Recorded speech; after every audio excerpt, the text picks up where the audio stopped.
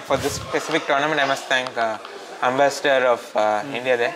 Uh, he was uh, he was having Mr. Sridharan. Yeah, Sridharan sir and um, and his wife. Yeah, they were taking uh, huge care of me and my mother. They were yeah they are also from Chennai, so we had this connect with them. Uh, and you know uh, they were giving me dinners at the end, so it was like was having Indian food. So you were going to his place after. No, like they were.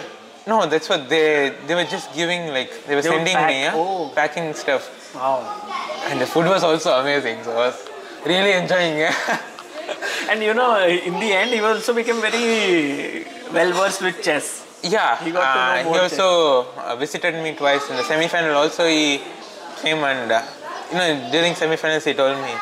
Uh, you will win and I will come back and make make the inaugural move against Magnus, and it happened. So I was like, Yeah, really. Uh, and then he came back and made uh, inaugural, move. and also he was there in the closing ceremony.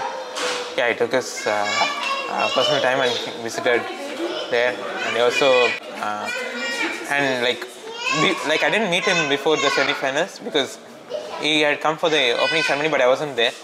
Uh, my mother had met him, and they also had, in, like had a dinner, but I didn't go there because there were some uh, games tomorrow, next day or something.